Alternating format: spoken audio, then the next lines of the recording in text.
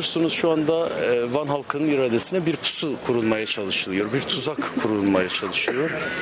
E, Ben e, bir yıl önce daha önceki bir mahkumiyetimden dolayı mahkemeye memnu haklarımın iadesi başvurusunda bulundum.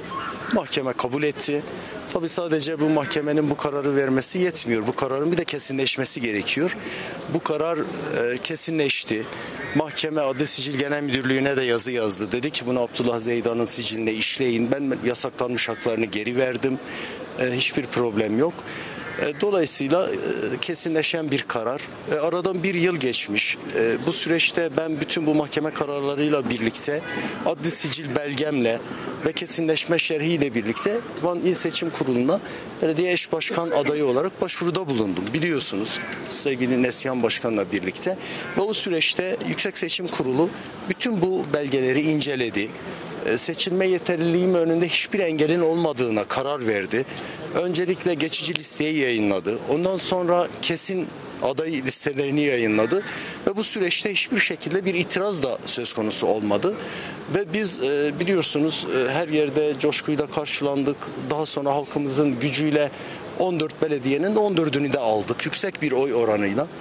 Sonradan biz dün öğleden sonra öğreniyoruz ki bunlar cuma akşamı saat 16.55'te Adli Sicil Genel Müdürlüğü'nün hukuksuz bir şekilde Diyarbakır Başsavcılığına bir yazı yazdığını ve bu e, bir sene önceki kararın mahkeme kararının kesinleşme şerhinin başsavcılığa bildirilmediği bahanesiyle savcılık mahkemeye başvuruda bulunuyor. Diyor ki o bir yıl önce Abdullah Zeydan'a tanıdığınız ve kesinleşen memnu hakları kararınızı ortadan kaldırın. Yani böyle bir uygulama yok Türkiye'de. Yani bu şuna benzer Yargıtay'da kesinleşmiş bir kararın yerel mahkemede yeniden ortadan kaldırılması gibi bir durum. Yani mutlak hukuksuzluk ve bir kanunsuzluk söz konusu. Şimdi bazen Adalet Bakanlığı kanun yararına bozma e, girişimlerinde bulunabilir. O prosedür var. Fakat bu prosedürü de işletmemişler. Ve mahkeme aslında şunu da yapabilirdi mahkeme. E, savcılığın e, ta- e, talebini Yargıtay'a götürebilirdi. Yani benim memnu haklarımı ortadan kaldırmadan, yasaklanmış haklarımı ortadan kaldırmadan bu süreci yürütebilirdi. Ve bu süreç Yargıtay'ın kararıyla daha sonra diyelim ki 5-6 ay sonra evet gerçekten bir e, mahkeme savcıya bildirmemiş bir eksiklik var. Abdullah Zeydan'ın işte yetersizliği var. E, tamam belediye baş, eş başkanlığı düşsün. Belediye meclisi kendi içerisinde bir eş başkan seçsin bunu yapabilirlerdi. Bunu da yapmamışlar. Yani kendileri verdiği kararı, bir yıl önceki kararı hiçbir yasal temeli olmadan kendileri ortadan kaldırmışlar. Dolayısıyla mutlak, mutlak bir hukuksuzluk var. Milletin iradesine kurulmuş bir tuzak var. Bir pusu var. Ee, Biz bu pusuya, bu tuzağa karşı sonuna kadar halkımızın iradesini koruyacağımızın sözünü demin de verdik, şimdi de vereceğiz, yarın da vereceğiz. Dolayısıyla e, burada AKP'nin bu süreç ilerlerken işte o e, memnu hakların iadesi kararını ortadan kaldırırken AKP'ye de demek ki bilgi verilmiş burada. E, ya, dün ve AKP de mazbatanın kendilerine verilmesi yönünde bir talepte bulunmuş. İl Seçim Kurulu bunu e, başkanı bunu kabul etmemiş. Bunun e, şerhine itirazına rağmen diğer iki üye evet bu yönde oy kullanmış. Fakat bizim bu karara karşı itiraz hakkımız var. Avukatlarımız zaten bu çalışmaları yürütüyorlar. Yani dolayısıyla burada aslında yürüyen bir hukuk e, süreci yok. Burada mesele Neslihan Şedal, Abdullah Zeydan meselesi de değil. Burada Kürt halkına, Van halkına, demokrasi yanlarına kurulmuş bir tuzak var, bir pusu var.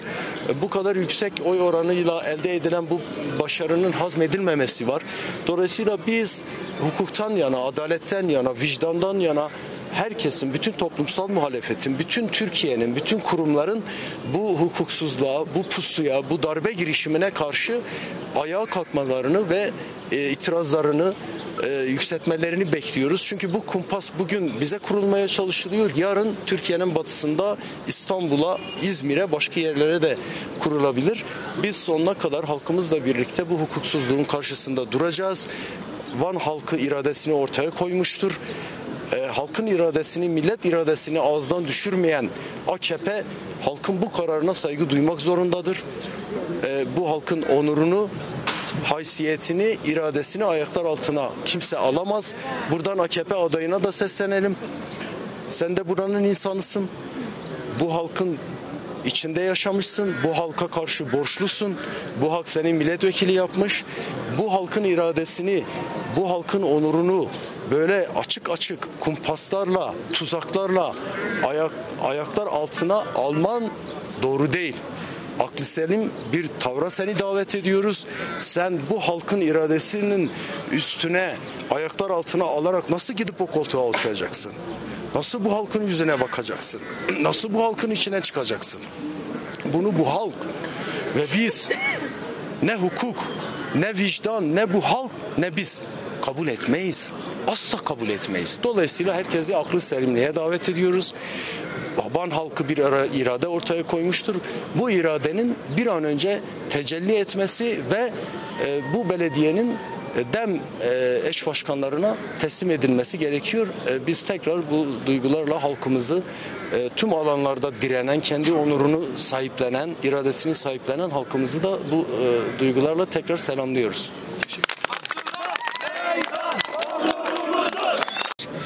Elde edilmiş bir başarıdır, elde edilmiş bir emektir ve zaferdir. Dolayısıyla biz bu iradeyi nasıl beyan etmişsek, nasıl irademizi ortaya koymuşsak, bugün bu gasp girişimine karşı, siyasi darbe girişimine karşı tekrardan hep birlikte karşı çıkacağımızı, tutumumuzu ortaya koyacağımızı ve yeniden bizden alınmaya çalışanları tekrardan onların gaspının altından kurtaracağımızı bir kere belirtelim. Dünyanın neresinde olursa olsun, nerede olursa olsun bir toplumun gericiliği, hukuk tanımamazlığı, kültür bilmemezliğine baktığımızda bile idamın bile olduğu bir yerde bir kişi idama gidildiğinde son sözün nedir diye sorulur. Ama bugün kendini demokratik bir ülke olarak tanımlayan Türkiye Cumhuriyeti'nin almış olduğu kararı karar olarak tanımıyoruz. Siyasi bir karar olduğunu, siyasi bir gasp girişimi olduğunu buradan bir kez daha belirtmiş oluyoruz. Olalım. Bizler biliyoruz ki bu halkın iradesi onların almaya çalıştığı kararlardan çok daha büyük. Bugün bizim zaferimizi hazmedemeyenler, bu halkın başarısını hazmedemeyenler, Türkiye'de Kürdistan'da yaşamış oldukları hezimetin altında kaldıklarını görmüştür ve bunun acısını da şimdi Kürdistan'daki belediyelerden, Van'daki belediyeden, Büyükşehir Belediyesi'nden çıkartmaya başlamıştır. Ama Van halkı, yurtsever Van halkı girişiminin karşısında dimdik duracağını bugün bir kez daha göstermiştir. Bizler buradan tekrar sesleniyoruz. Bizim olanı irademize sahip çıkma zamanıdır bugün. Bugün burada yapılmaya çalışan gasp girişimi bizim kendimizi yönetemememiz, kendi sorunlarımızı çözemememiz içindir. Ama bizim onlara vermemiz gereken cevap, bizim olanı nasıl onlardan geri aldıysak, bugün gerçekleşecek olan gasp girişimine karşı, siyasi darbe girişimine karşı da tavrımız nettir. Biz onları hiçbir zaman tanımadık. Bugün de tanımayacağız. Abdullah Arvas o koltukta oturamayacak. Eğer oturabilecekse, oturabilecek yüzü varsa da bu halkın içine çıkamayacak. Çünkü bu halk onları seçmedi. Bu halk onları irade olarak görmedi. Bu halkın iradesi Abdullah Zeydan ve Neslihan Şedal olarak seçildi ve öyle olacaktır. Biz buradan tekrar halka sesleniyoruz. Kendi irademize sahip çıkalım. Gaspçılara, hırsızlara yol vermeyelim. Halkı olacaktır. Tekrardan hepinizi saygı ve sevgiyle selamlıyoruz.